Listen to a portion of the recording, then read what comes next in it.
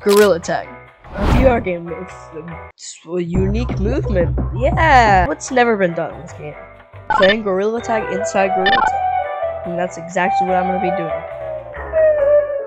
First approach I took was downloading a Gorilla Tag APK, but that didn't work because it would just tell me to quit Gorilla Tag. So I thought for a while and a while, and I finally figured it out, and then I forgot about it. And then I saw this video by I forgot who it was. They made they played Gorilla Tag on mobile, and that's exactly how I was gonna do it. I was gonna put Steam Link onto my headset. Probably wondering how does that work?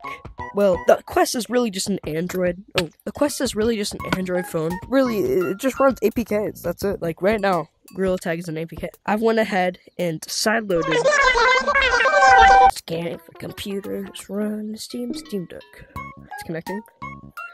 Yo, look at that. Okay, we are. But yeah, we're on Steam Deck, so this is different than. Maybe I'll keep you till. Uh,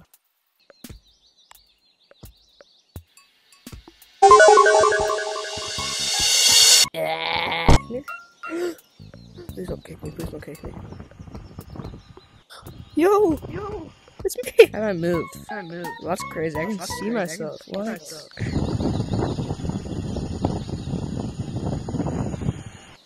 Are those fans? Fans. TP. Oh, wait. Oh, wait, wait. He moved. Oh, let me get down there. Oh, he got kicked. Wait, I'm playing Gorilla Tag playing inside Gorilla- Tag.